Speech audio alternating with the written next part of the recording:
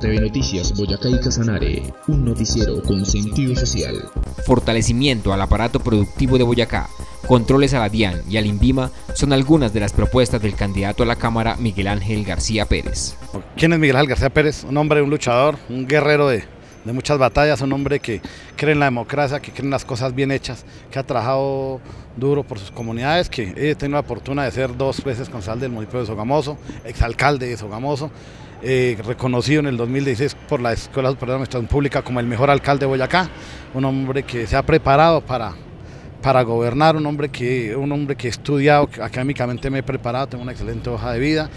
he demostrado resultados en el tema político, soy un hombre que toda mi vida he trabajado, duré 20 años trabajando en una empresa privada como Aceras Paz del Río, aparte de otra vida laboral que tuve antes de ella, soy un hombre que siempre hago las cosas bien, un hombre de resultados, un hombre de trabajo y de mucho empeño. Y hoy aspirando a la Cámara de Representantes porque estoy convencido que Boyacá necesita líderes fuertes que den la pelea por esta tierra de Boyacá y que le den resultados y expectativas a la gente que tantas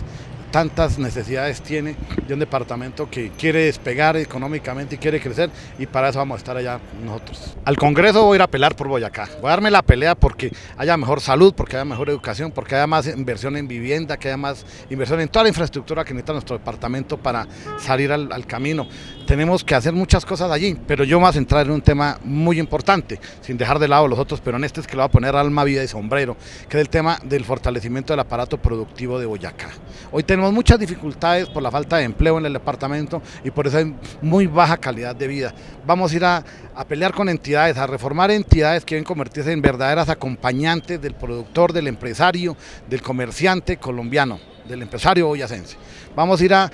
humanizar la DIAN, vamos a ir a humanizar esa entidad que lastimosamente hoy ha acabado con muchos empresarios en Colombia y muchos emprendedores le tienen miedo a una entidad como esas. Vamos a transformarla, vamos a humanizarla y vamos a que haga un acompañamiento real a los empresarios boyacenses, acompañándolos en todas sus etapas críticas para que puedan salir adelante y puedan generar empleo. Vamos a hablar con ese INVIMA, vamos a dar un control político muy serio al INVIMA que debe cumplir con su responsabilidad, por supuesto, pero debe convertirse en un ayudador, en un potencializador de los productores boyacenses. No un estancador como lo hemos visto hasta hoy, que no queremos que siga siendo así. En nuestro ente ambiental hay que mirar qué está pasando allí, porque para las multinacionales sí hay licencia rápido y para, y para la gente boyacense que quiere producir, que quiere invertir, que quiere generar empresa, no hay, ni siquiera para los acueductos vereales, tenemos acueductos que llevan dos y tres años esperando su licencia ambiental. Entonces, ojo con eso, no vamos a pelear con ellas, vamos a humanizarlas, a reestructurarlas para que el que quiera hacer empresa en Boyacá, el, aquel emprendedor se sienta acompañado, que se sienta que está rodeado y que tiene amigos que lo quieren ayudar a salir adelante. Esa es parte